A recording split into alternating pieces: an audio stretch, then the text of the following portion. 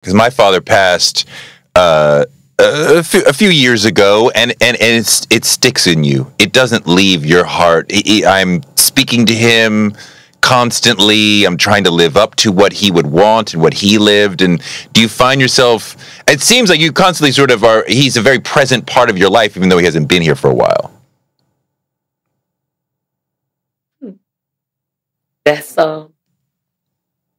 That's kind of special. You picked that up that quick.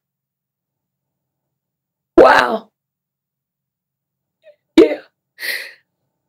Yeah, he's he um uh, he was all of that to me.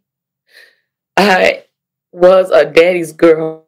Just when you think that you have grown past something, you can really talk about it. You you never you, you, you never get over it. I'm not over it.